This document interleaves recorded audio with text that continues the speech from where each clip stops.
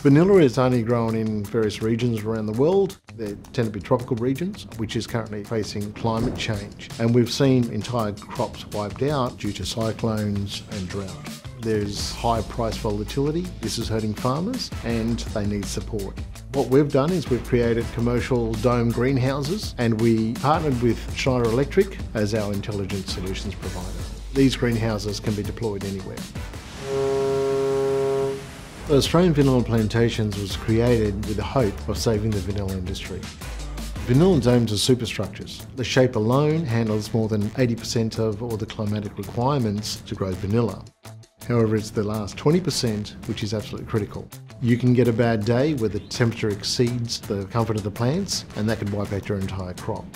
So we needed to find an automation partner that can assist us ensure that the plants are protected and optimised for growth all year round. We partnered with Schneider Electric and implemented a full EcoStruxure solution for ease of connectivity, integration and engineering.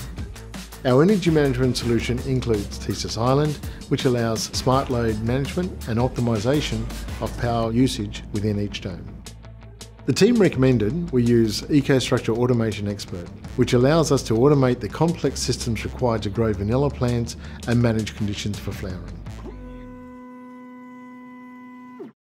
The solution's amazing because the cloud connectivity ensures that we can manage and collect data from every single plantation, no matter where they are.